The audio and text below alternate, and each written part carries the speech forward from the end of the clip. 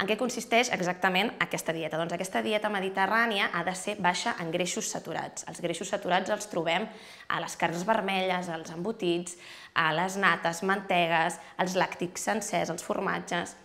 I els sucres els trobem doncs, en el sucre morel, el sucre blanc, la mel, la xocolata, galetes, però sobretot ens interessa molt eliminar el sucre de les begudes eh, ensucrades, dels sucs de fruita, ja que contenen fructosa.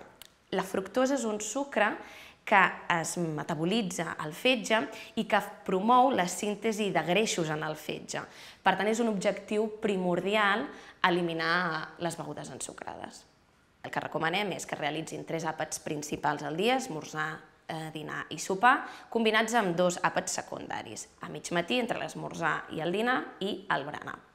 Sempre menjant més quantitat pel matí i menys abans d'anar a dormir, perquè tota aquella, aquella quantitat que mengem abans d'anar a dormir serà energia que no gastarem i emmagatzemarem en forma de greix.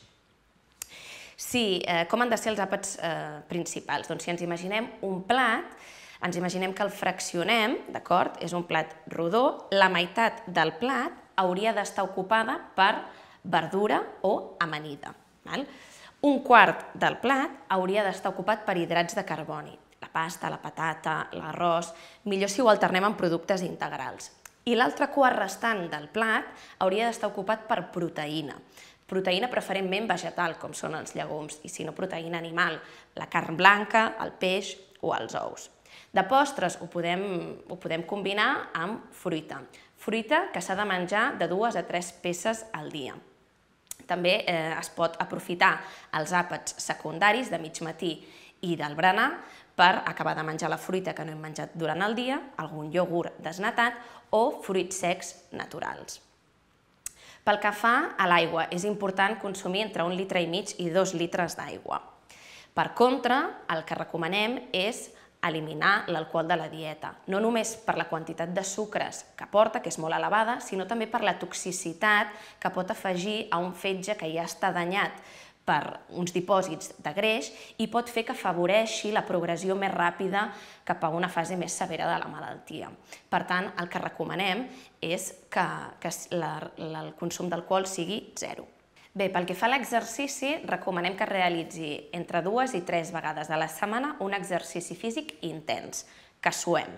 L'ideal és combinar l'exercici físic aeròbic, aquell més cardiovascular com caminar ràpid, córrer, fer bicicleta, natació, ballar, tennis, pàdel, combinar-ho amb l'exercici físic anaeròbic, aquell més de força o de resistència, com flexions, abdominals, planxes, squats, això, aquesta combinació, el que fa és que augmenti el metabolisme basal i d'aquesta manera cremem més quilocalories. Eh, l'exercici s'ha d'adaptar, evidentment, a les limitacions o a les capacitats que té cada persona. Per tant, si una persona doncs, no pot eh, sortir a córrer o fer bicicleta, el que pot provar és de fer exercicis estàtics, més de, de moviment articular, o si no, doncs, amb, amb unes manoples de 2-3 quilos, a casa doncs, fer exercicis de peses, de sentadilles, etc. Es pot muntar una rutina entre 20 i 40 minuts, dues vegades al dia, escollint 6 o 8 exercicis i de cada exercici fer 15 repeticions.